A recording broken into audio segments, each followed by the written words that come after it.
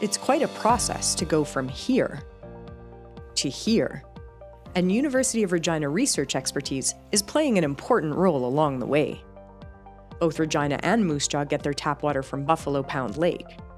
But before it makes its way into your glass, it first has to undergo a purification process at the Buffalo Pound Water Treatment Corporation. I, I love tap water. Absolutely. there is a lake pumping station located exactly three kilometers uh, north of here. And uh, that's drawing up uh, water from Buffalo Pound Lake. That water is chlorinated. That process is lengthy and produces a lot of costly waste. The water then undergoes several different processes to be further cleaned and purified.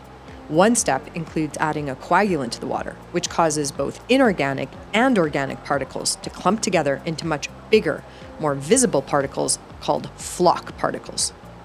The larger the floc particle, the more dense it becomes, and the much easier it is to settle out or float out uh, further down in the treatment process, which dramatically helps to clean up uh, the water uh, and is the first process in making um, questionable water quality into high quality water that consumers will eventually consume.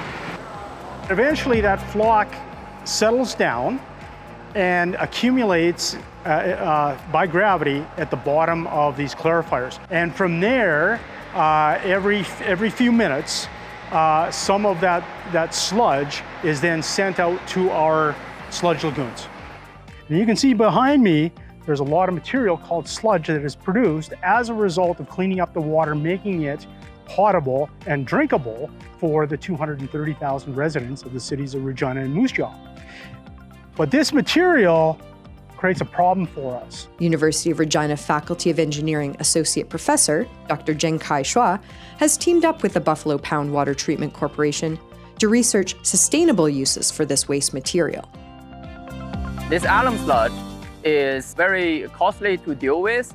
The treatment plant has to spend like over $1 million every year just to dry the sludge and haul it to landfill. It's not environmentally friendly and it, it, it is very costly.